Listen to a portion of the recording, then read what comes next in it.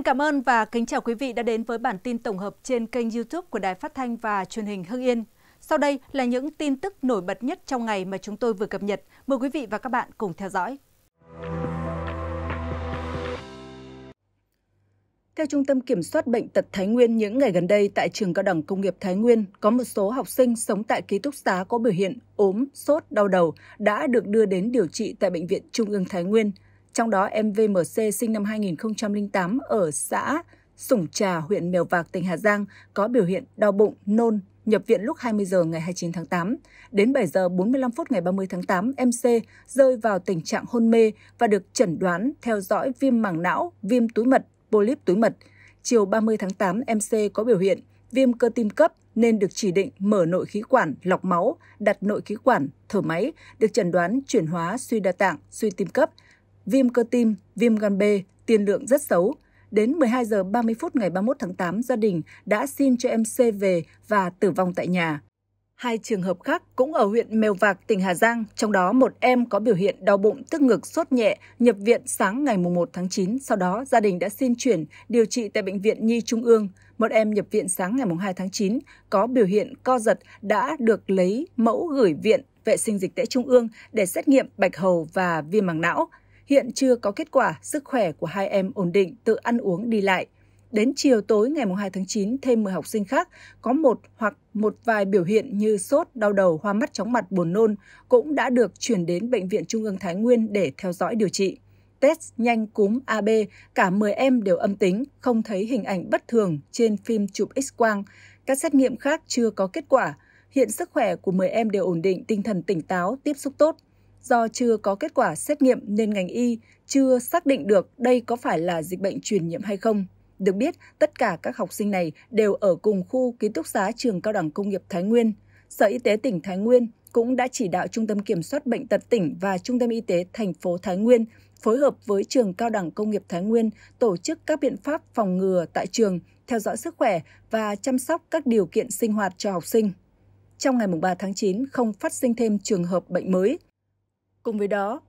ngay trong chiều ngày 3 tháng 9, ông Đặng Xuân Trường, Phó Chủ tịch Thường trực Ủy ban nhân dân tỉnh Thái Nguyên đã chủ trì cuộc họp.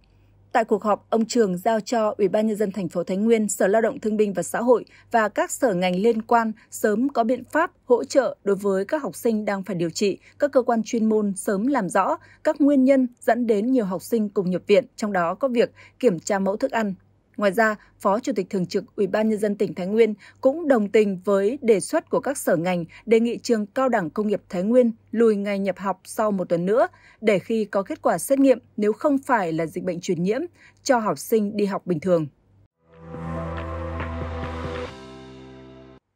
Lần đầu tiên sau nhiều năm hành nghề tự phát, thần y đồn thổi không tổ chức khám bệnh, bán thuốc nam tại nhà vào những ngày đầu tháng âm lịch. Sáng sớm ngày 3 tháng 9 vẫn có nhiều bệnh nhân từ khắp các tỉnh thành phố đổ về nhà thầy Lang Minh Thế tên thật là Hoàng Văn Minh sinh năm 1967 ở thôn Làng Xảo, xã Minh Tiến, huyện Lục Yên, tỉnh Yên Bái mong được khám bệnh.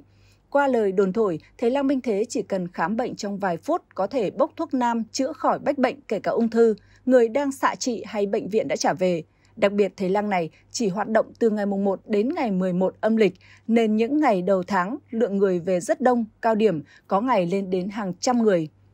Đại diện lãnh đạo xã Minh Tiến cho biết, từ sáng ngày mùng 3 tháng 9 đã đến nhà ông Minh để kiểm tra, thầy lang này hiện không có nhà và cũng không tổ chức khám bệnh bốc thuốc nữa. Được biết, trước đó chính quyền địa phương đã mời ông Hoàng Văn Minh lên làm việc và yêu cầu dừng lại hoạt động khám bệnh bốc thuốc khi chưa được cấp phép hành nghề. Cũng theo lãnh đạo xã Minh Tiến, sáng ngày 3 tháng 9, vẫn có 4 ô tô chở khoảng 20 người đến khám bệnh bốc thuốc. Tuy nhiên, thầy Lang Minh Thế không có nhà, cộng thêm sự tuyên truyền của lực lượng chức năng nên họ đã ra về.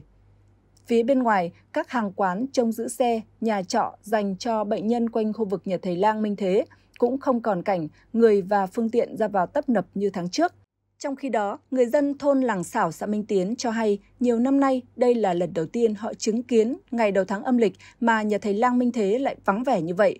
Khi hỏi thầy Lang bao giờ khám bệnh trở lại, con trai ông Minh trả lời thầy nghỉ hẳn rồi, từ nay không làm thuốc nữa. Thông tin thêm, ngày 29 tháng 8, bác sĩ Lê Thị Hồng Vân, Giám đốc Sở Y tế tỉnh Yên Bái khẳng định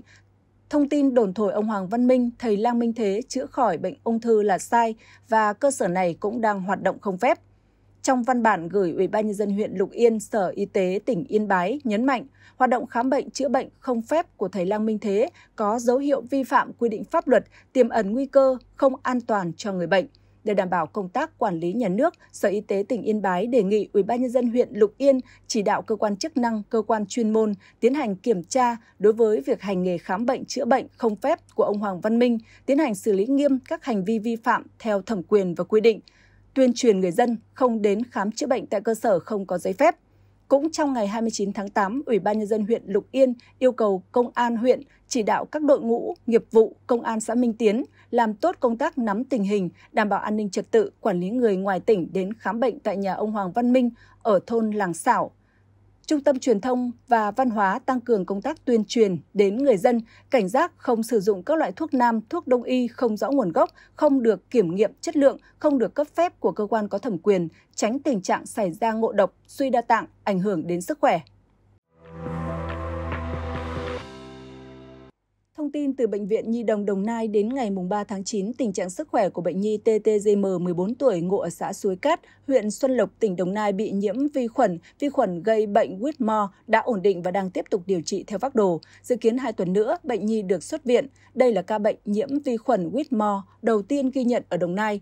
Theo Bộ Y tế, bệnh Whitmore hay tên gọi khác là Melioidosis là một bệnh nhiễm trùng ở người và động vật do vi khuẩn gây ra. Vi khuẩn tồn tại tự nhiên trong đất có thể gây ô nhiễm nguồn nước và lây truyền chủ yếu qua da khi có vết thương hở tiếp xúc trực tiếp với đất bùn, nước bị nhiễm khuẩn. Hiện chưa có bằng chứng về việc lây truyền vi khuẩn từ người sang người hoặc từ động vật sang người. Trước đó, đầu tháng 8 năm 2024, bệnh nhân có nổi hạch ở vùng cổ. Sau đó, gia đình đưa đi khám, được chẩn đoán viêm hạch và được chỉ định cho thuốc điều trị tại nhà. Đến ngày 22 tháng 8, bệnh nhi không đỡ, bị áp xe phần mềm vùng cổ bên phải nên được nhập viện Bệnh viện Nhi đồng Đồng Nai để mổ lấy hạch. Bệnh viện đã lấy mẫu bệnh phẩm gửi Bệnh viện nhiệt đới thành phố Hồ Chí Minh để làm xét nghiệm. Ngày 29 tháng 8, kết quả xét nghiệm cho thấy bệnh nhi dương tính với vi khuẩn Burkholderia pseudomalay, vi khuẩn gây bệnh Whitmore.